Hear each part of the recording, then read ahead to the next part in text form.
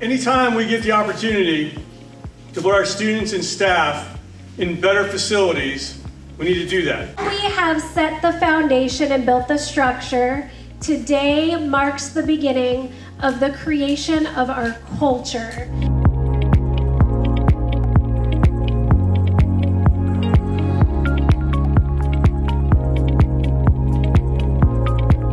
This is this is a long time coming, and I tell you, I get tickled every time I drive by. When you're talking about a community, when you're talking about this community has been raising funds and doing stuff for the rest of the district for a long time.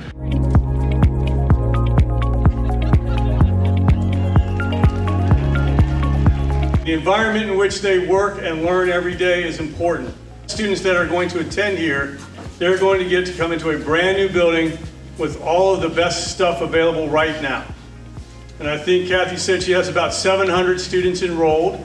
This building could hold about 900. I imagine we'll be there pretty quick. This is a huge day for the Viera community and a huge day for Brevard Public Schools. I believe it's our first new middle school in about 30 years. Can I get a?